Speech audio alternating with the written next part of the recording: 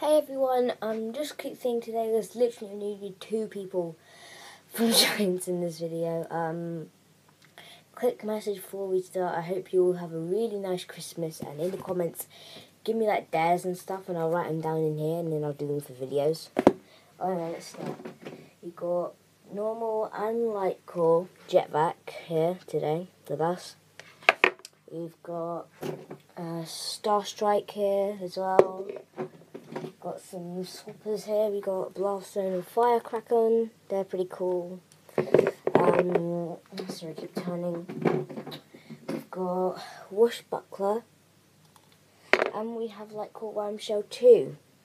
And you know why I like Light Wham-Shell? It's just he's just so cool. Don't even look at me, just look at him for a sec. Isn't he so cool? One, two, three, four, five, six, seven is my favourite number. I like seven.